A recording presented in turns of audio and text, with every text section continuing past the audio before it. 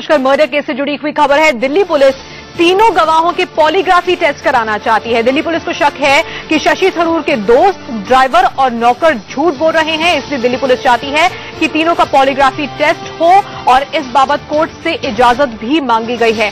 Delhi police को लगता है कि तीनों जने झूठ बोल रहे हैं। नौकर नारायण, ड्राइवर बजरंगी और साथ ही शशि थरूर के दोस्त संजय दीवान झूठ बोल रहे हैं। इसलिए उनका पॉलीग्राफी टेस्ट होना चाहिए।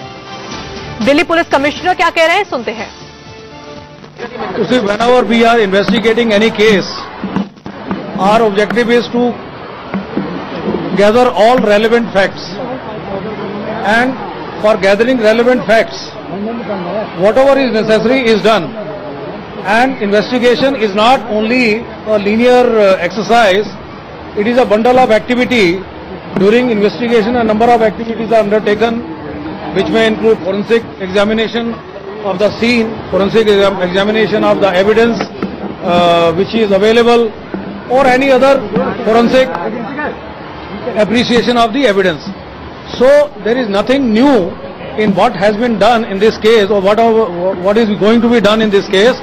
So it is part and parcel of any investigation effort which is done on scientific lines and there is nothing uh, to be read in this. Sir, there was similarity in the statement given by Shashi Tharoor and the scene where who's the polygraphy test and the wrong was not medically. Uh, Will you be also asking a polygraphy test of Shashi Tharoor?